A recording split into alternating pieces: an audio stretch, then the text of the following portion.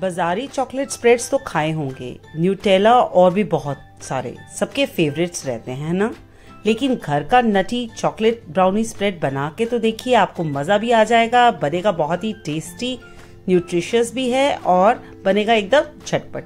तो चलिए फ्रेंड्स जानते हैं आज का रेसिपी लेकिन उससे पहले फ्रेंड्स मैं रिक्वेस्ट करना चाहूँगी कि अगर आपको मेरा आज का वीडियो देख के पसंद आए तो लाइक और शेयर कीजिएगा और ज़रूर सब्सक्राइब कीजिएगा मेरे चैनल को।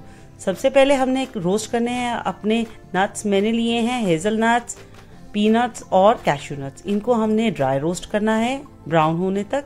हल्का सा गोल्डन ब्राउन करेंगे हम, ज़्यादा नहीं करेंगे। आप अपनी पसंद से कोई और भी नट्स ले सकते हैं। मैंने तीनों एक ही रेशो में लिए हैं और इनको हमने पीसना है। एक बार मिक्सी में चलाने के बाद हम एक से दो चम्मच ऑयल डालेंगे इसके अंदर। और इसे फिर हमने रेगुलरली चर्न करना है तीन से चार मिनट देखिए, आपको कंसिस्टेंसी धीरे धीरे चेंज होती हुई नज़र आएगी। फिर हम डालेंगे इसमें सेम अमाउंट का ग्राउंड ग्राउंडेड शुगर क्योंकि वन वन वन पोर्शन मैंने लिए थे अपने नट्स और एक पोर्शन चीनी। साथ में इसे फिर हमने हीट अप करना है अपने पैन में, ज़रा सा पानी ली है साथ में।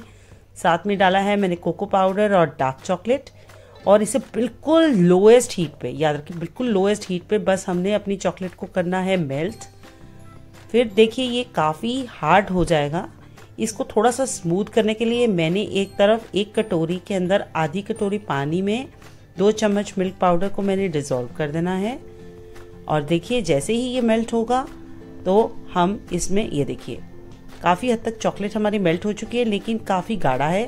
तो ये कौन सा मैंने मिक्स बनाया, उसे हम करेंगे मिक्स बस कंसिस्टेंसी आते ही थोड़ा सा ये ज़्यादा लिक्विड ही लगेगा आपको, लेकिन ये ठंडा होने के बाद हार्ड भी हो जाता है। और देखिए फ्रेंड्स बिल्कुल रेडी है हमारा रेसिपी और ज़रूर ट्राई कीजिएगा अपने घर पे फ्रेंड्स इस रेसिपी को। Thank you so much friends for watching my video from आपकी फ्रेंड सिल्वी